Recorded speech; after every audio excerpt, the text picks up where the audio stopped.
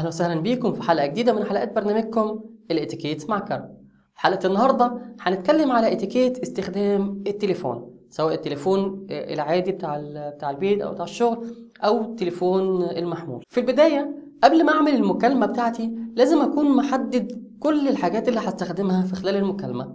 على سبيل المثال لو أنا هكلم واحد زميلي في الدراسة عشان أراجع معاه مثلا المحاضرات اللي اتاخدت النهارده في الكلية فببقى محدد جنبي ال- الورق اللي هتكلم معاه منه ببقى محدد جنبي الكتب محدد جنبي ورقة وقلم. آه، لازم أبقى محدد كل الحاجات دي ومخليها جنبي قبل ما أعمل المكالمة. لأن مفيش داعي ابدا إن بعد ما أعمل المكالمة وأنا بتكلم مع صاحبي أو زميلي أقول له والله طب بص خليك معايا معلش شوية أروح أجيب الكتاب. أو خليك معايا شوية أروح أجيب ورقة وقلم. ده مش من الذوق إن أنا أخلي حد تاني مستنيني على الخط آه، الناحية التانية. خصوصا لو كانت المكالمة دي مكالمة عمل.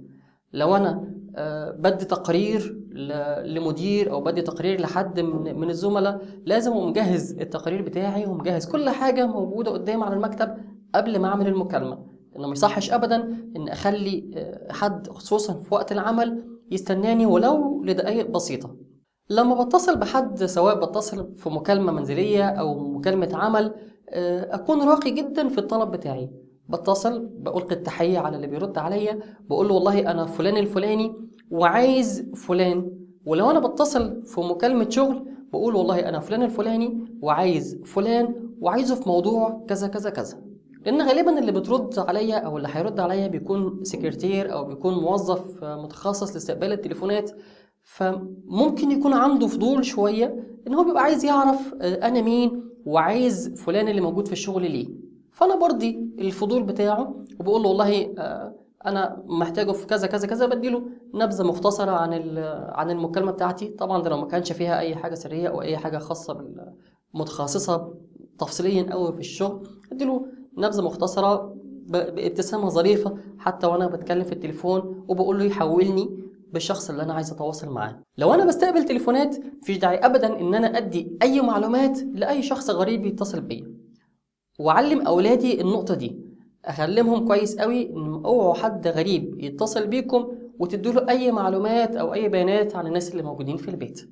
ده آه، شيء من خصوصياتكم ومفيش ابدا داعي إنك أنت تدوا معلومات أو بيانات لشخص غريب وده من حقكم طبعا. في استخدامي للتليفون المحمول بحاول على قد ما أقدر إن تكون المكالمات بتاعتي مختصرة ومتحددة في نقط معينة.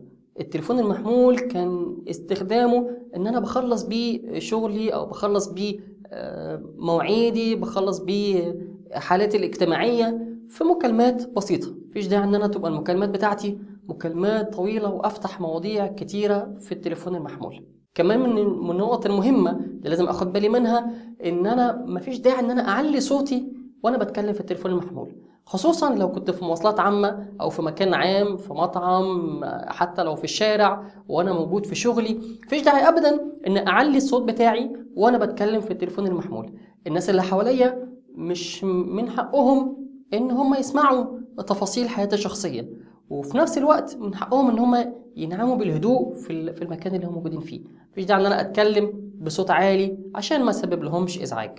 أتمنى في نهاية حلقتنا تكونوا استفدتم معانا. أشوفكم إن شاء الله الحلقة الجاية مع برنامجكم الاتيكيت مع كرم.